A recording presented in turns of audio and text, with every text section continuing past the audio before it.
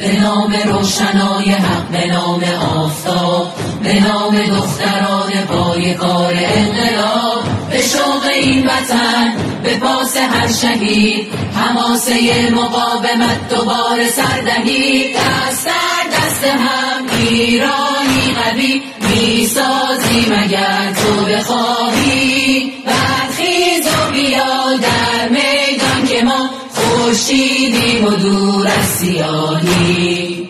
زنان شاهنامه در حیا و غیرتی تمدن اصیل مکتب شهادتی قسم به فاطمه که برترین زن است. هجاب عاشقان خارج چشم دشمن است. ایران مادر است راهش روشن است.